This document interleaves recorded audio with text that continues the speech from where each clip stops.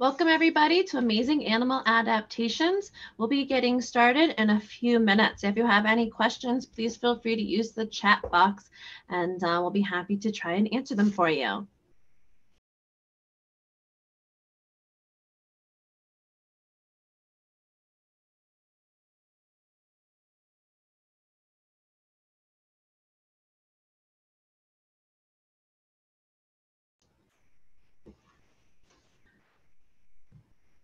While we're waiting for everybody to log in, we're just going to keep the camera here on the Canada Lynx enclosure. You may see them wandering around.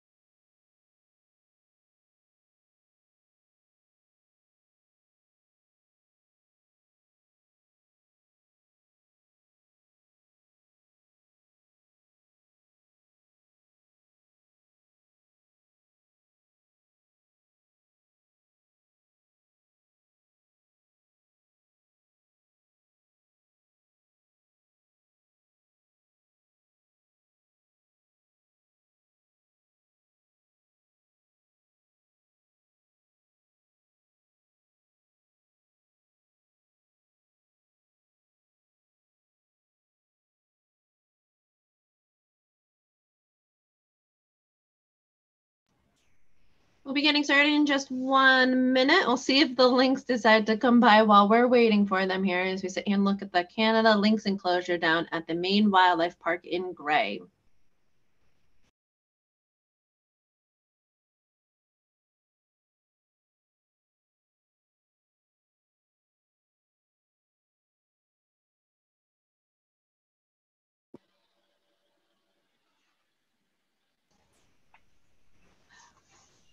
All right, we're going to go ahead and get started now. We're going to go down to Jade, who is at the Maine Wildlife Park.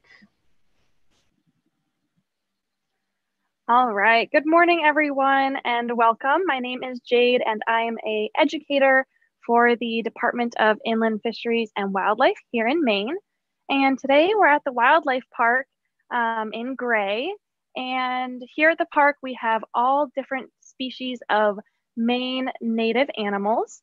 We have black bears and moose, different raptors, um, snakes and turtles, the lynx that is here behind me, as well as um, bobcats and lots of small mammals like beavers and porcupines. Um, so all kinds of different species that are native to Maine. And all the animals that are here can no longer live in the wild. They are non-releasable um, for a number of different reasons.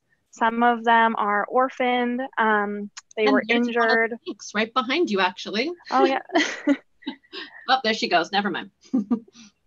Hopefully they'll come in and out and say hello a few times.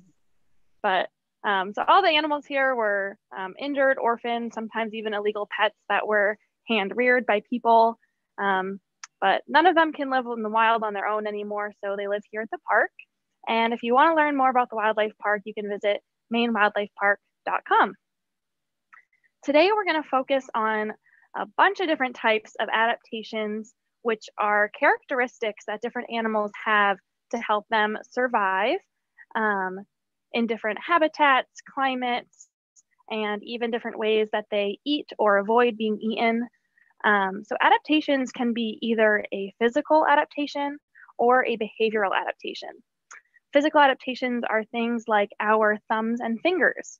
So we can use them to grab and hold on and open things, um, just like a raccoon or a possum um, has kind of little fingers for holding and grabbing different things. We also have behavioral adaptations, such as hiding the last piece of pizza or hiding food from others.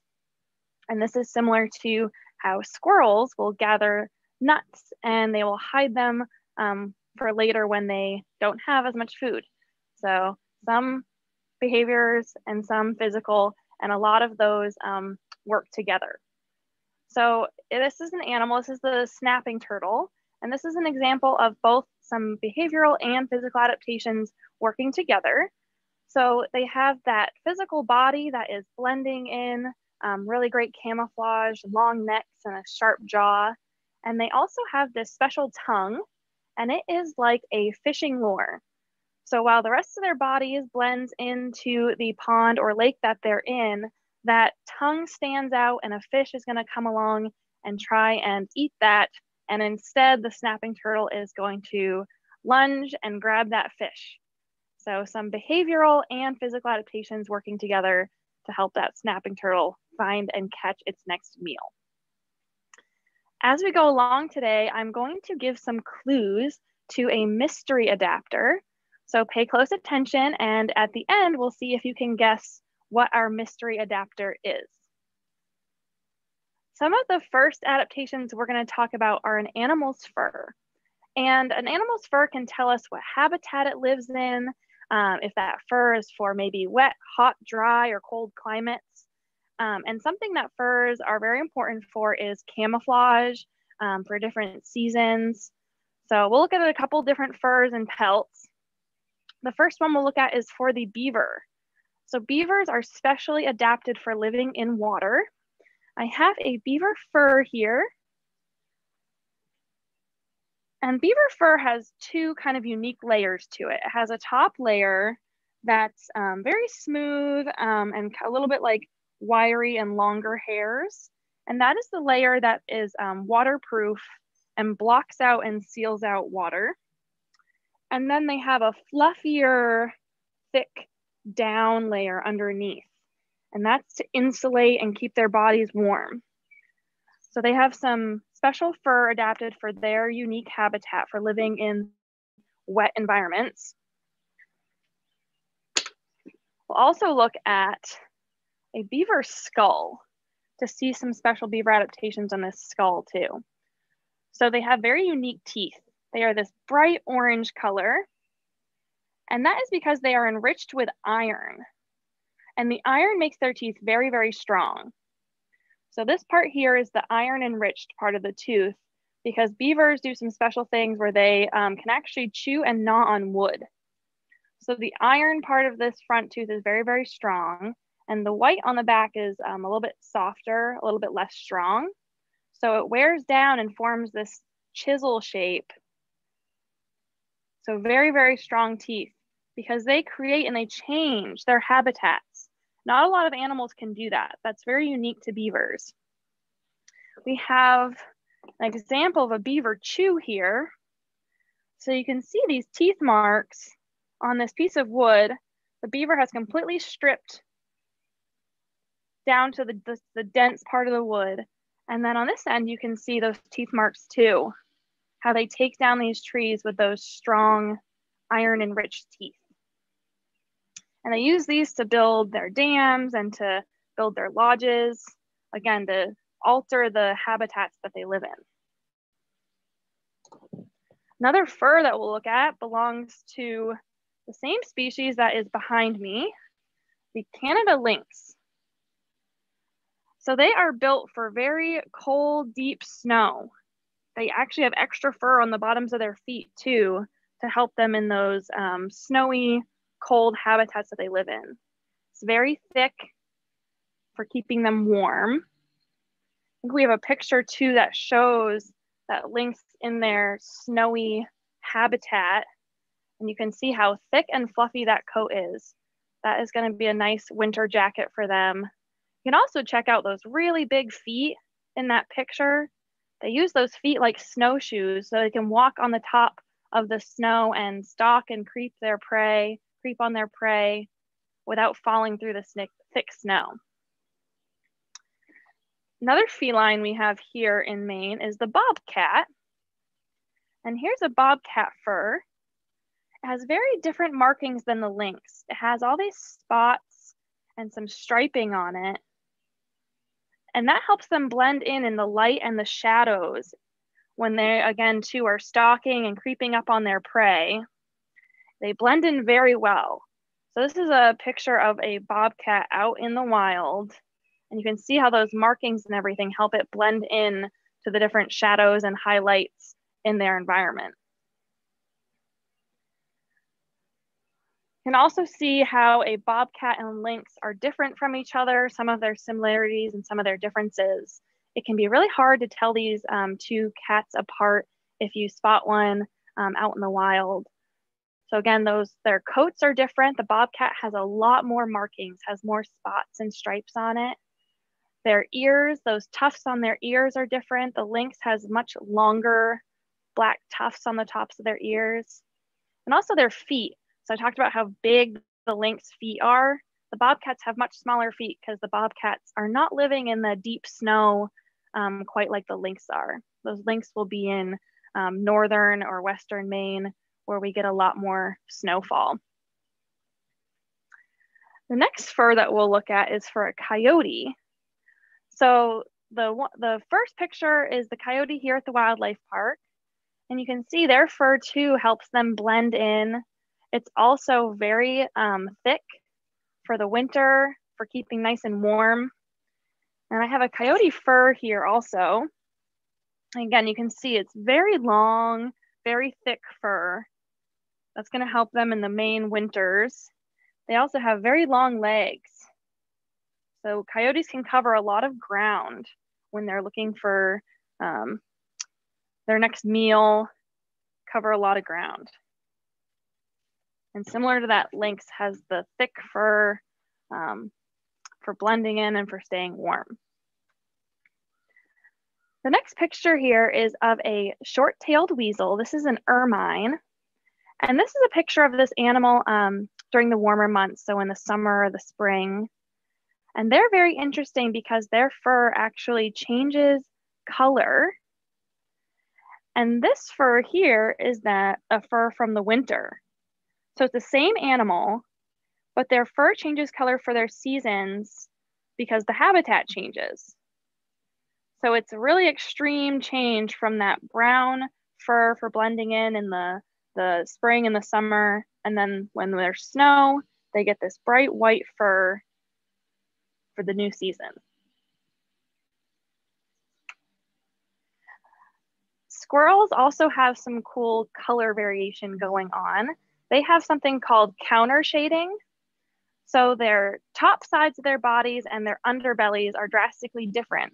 The top side will be a darker color and the bottom will be um, like a brighter white color. And that counter shading helps um, them in when they're climbing through the trees or they're in the snow in their habitats also. So some other cool fur adaptations.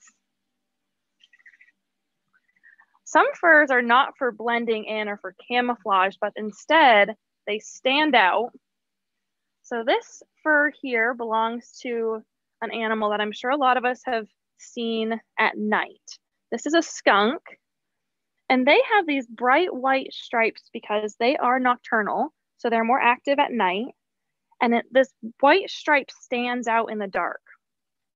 And this is a warning sign. We know that skunks spray so they also have this marking that says, stay back, warning, don't mess with me, I will spray you. So it kind of goes with their nocturnal um, habits of knowing that this white is going to stand out in the dark and be that warning sign to keep back.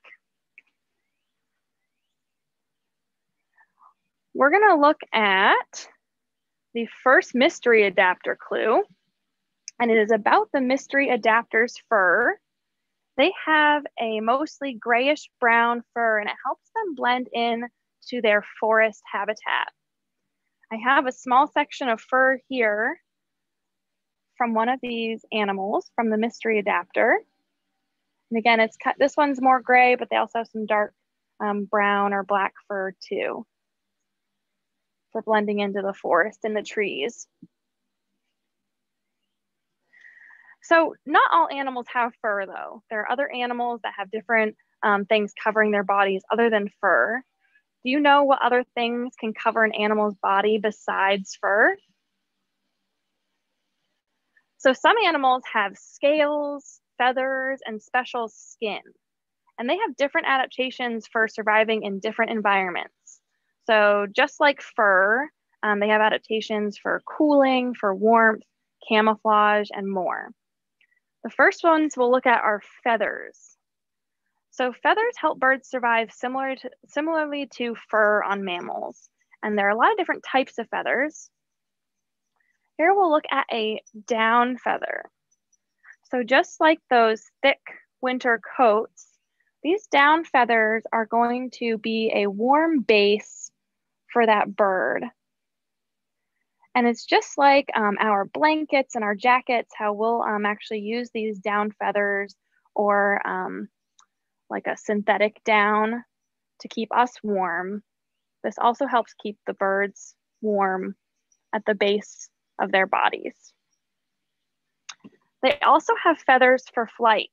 Flight is very important for birds' survival. They need to fly to be able to hunt. It makes it so a lot of birds can nest off the ground and fly away from predators.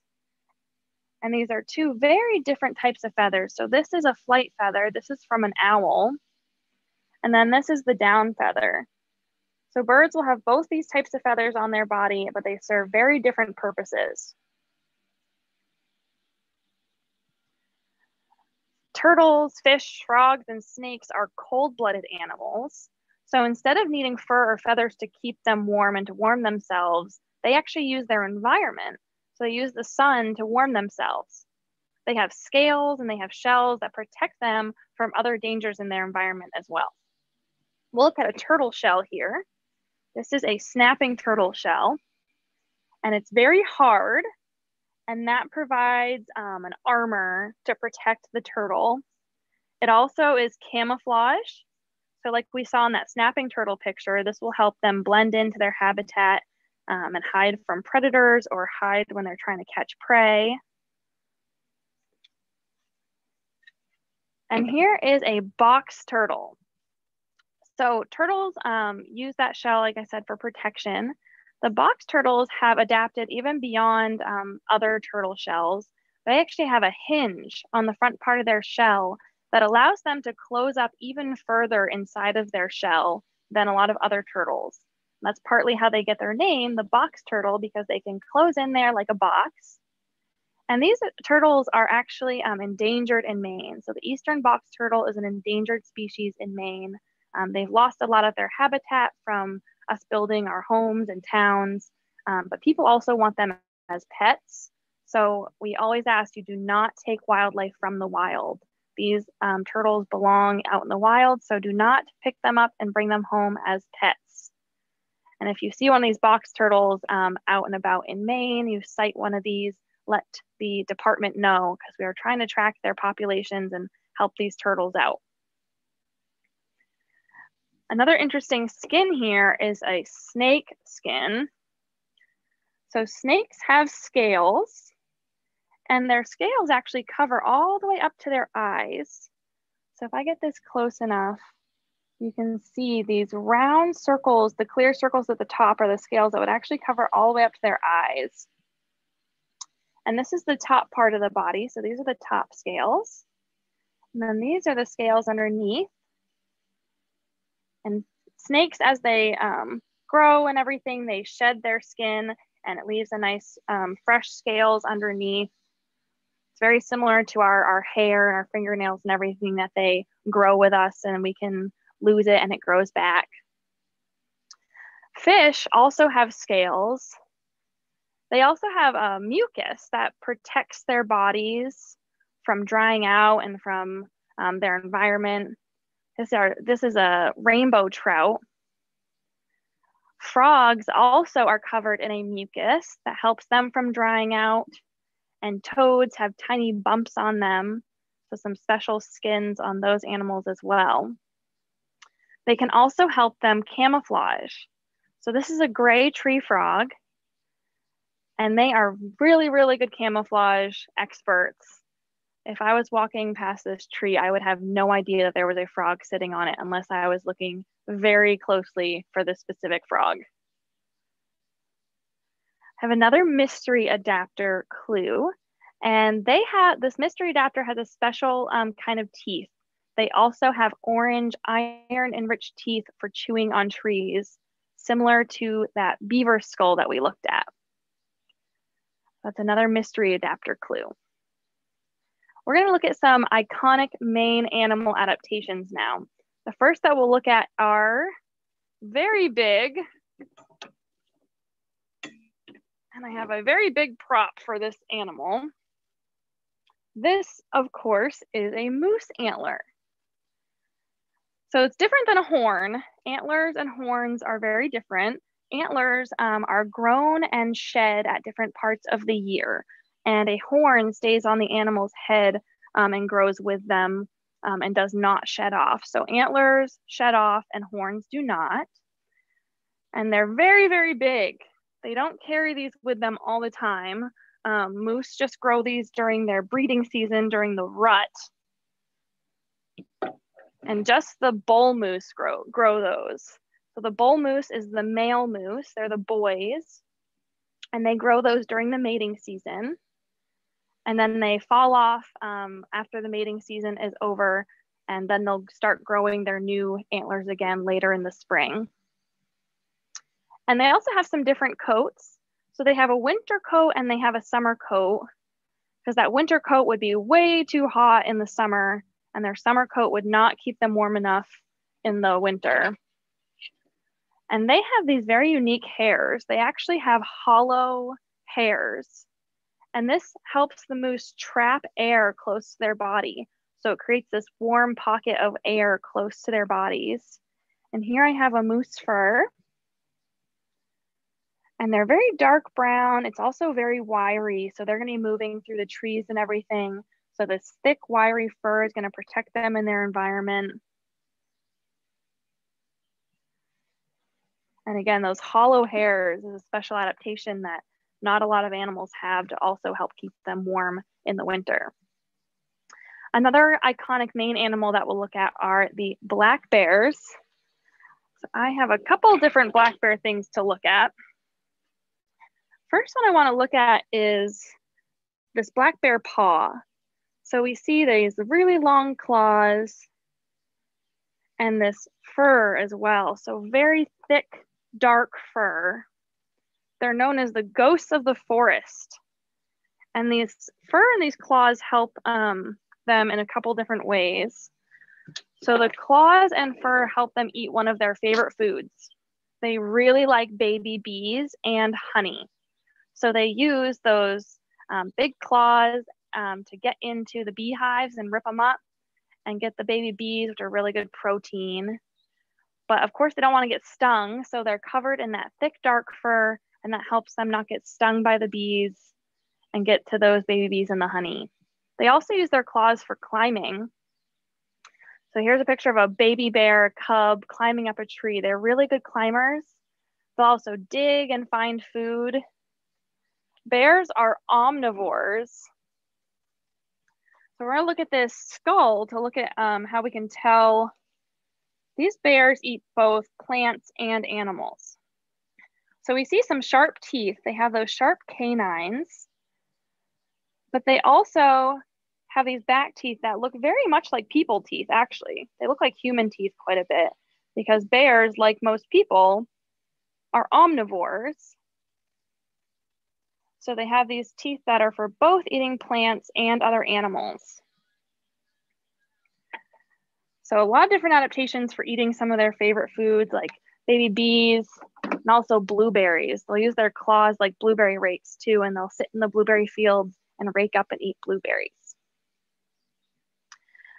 Our third and final mystery adapter clue is that this animal also climbs trees, but one of their most iconic um, adaptations is actually their modified fur follicles that will stick to any creature that gets too close to them.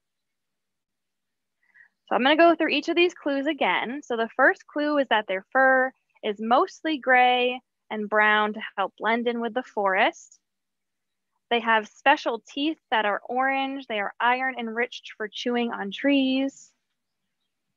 And they are adapted to climbing trees, but they're also known for their modified fur follicles that will stick to a creature if they get too close. What do you think our mystery adapter could be? It's a porcupine. So I showed that fur and here we have two pictures of porcupines. The one on the ground is a porcupine here at the wildlife park. And the other one is a porcupine clinging onto that tree with their fluffy winter coat and those quills sticking out. I have a couple, I'll re-show this fur again. So this is that um, fur that covers the porcupine, just like a lot of other mammals, very um, kind of normal fur. But then we also wanna look at these modified hairs. So these are those quills. This is the modified hair I was talking about, is the porcupine quill. And these are what they're gonna stick into any animal that gets too close to them. A common myth is that these um, animals can shoot the quills off of their bodies like a projectile, but they actually can't do that. You have to touch the porcupine to get poked with these quills. So they can't shoot them at you, um, but if you touch them, they're gonna stick in and they are tough to get out. So really good defense for those porcupines. We also talked about their teeth too. Very much like the beaver, they eat browse. So they eat the leaves and twigs and bark off of the trees. And they just leave behind, um, just like on here, they'll leave behind the bare wood on that tree and eat everything else off of it. So if you're going through the forest and you see trees that are not on like this, but not taken, taken completely off, those are probably done by a porcupine. All right, I would love to answer any questions that might have come in about animal adaptations now. So it's not necessarily about an adaptation, but um, someone was thinking, was there an albino porcupine that once lived at the park? Yeah, we've had actually a couple different um, albino animals at the park. Um, I have, when I've been here, I haven't seen an albino porcupine, but I wouldn't be surprised if we did have one. Um, we currently have an albino raccoon. Um, so there's a range of different um, kind of genetic color variations that can happen. So we have a piebald deer also. So she's not completely white. She has some brown spots on her. Um, so instead of being albino, we call her a piebald because she has um, still a genetic change where she's not that brown or tan color like the other deer. She's mostly white. But I wouldn't be surprised if at one point we did have an albino porcupine because they do not do well in the wild. Albino animals are um, easy prey, and they often, because that is a genetic um, disease or, or, change in that animal, it can also affect other um, adaptations that they have. So our albino raccoon that's here that same um, genetic disorder also affects his eyesight, um, which of course is very important to them in the wild. So he's here because he's albino, and um, I believe he was actually someone's pet as well. So. Um, another question is, are porcupines fluffy in the winter? Yeah, so if we um, could go back to that picture of the porcupine from just before of it holding on to um, the tree branches, we can see that they do get very fluffy in the winter. They have um, the same kind of fur like the lynx or the coyote. So they're going to have that fur covering their body that keeps them nice and warm. But mixed in with their regular fur are also those quills. So the quills aren't all the fur on their body, but they also have normal fur that helps insulate and keep them warm in the winter too. Um, another question is, do porcupines bite? Porcupines can definitely bite. They have very, very strong teeth.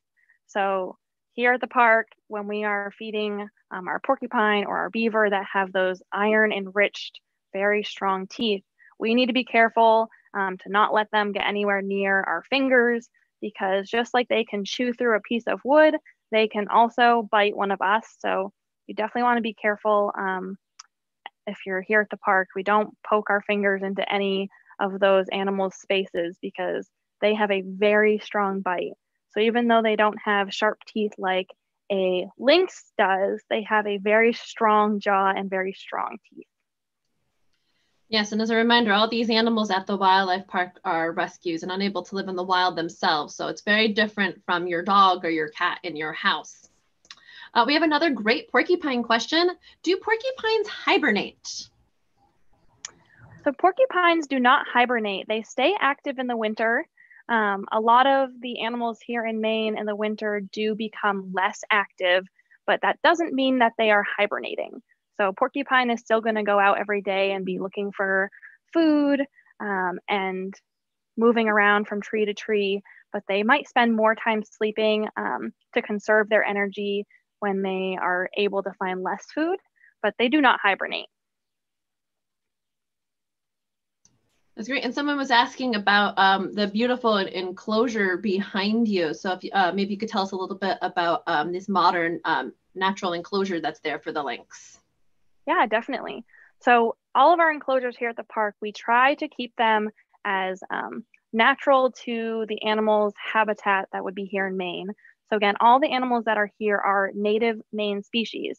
So we don't have to um, really stretch too far to change their enclosures um, to make it like a African savanna or something like that. We try to keep them as natural to the Maine um, forests and habitats that they would be living in. Um, we keep real trees and we build um, different um, hideaways and spots where the animals can go to cool down or get away from just the public eye. Um, and we also do a lot of enrichment with the animals here. So the tree that's behind us, we will um, do scent enrichment with the cats. They're very sensitive to scent. So we'll do different scent enrichment. We'll hang um, boxes and different uh, crazy toys and things. And um, just like a house cat, we'll actually use some herbs like catnip um, or spices like anise. And they're very sensitive to that. It gets them very excited and using their um, natural instincts a little bit more, even though they're here as a captive animal.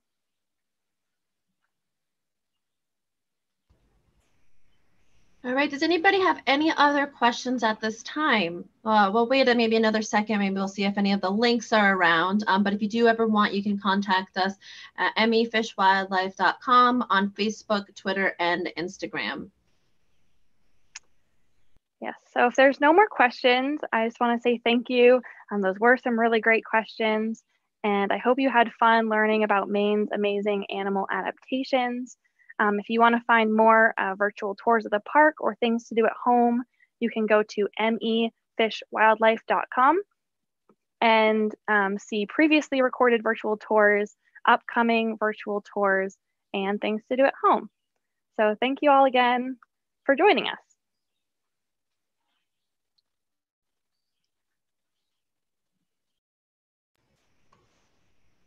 Thank you, everybody. And please be sure to check out our other videos at mefishwildlife.com slash field trips.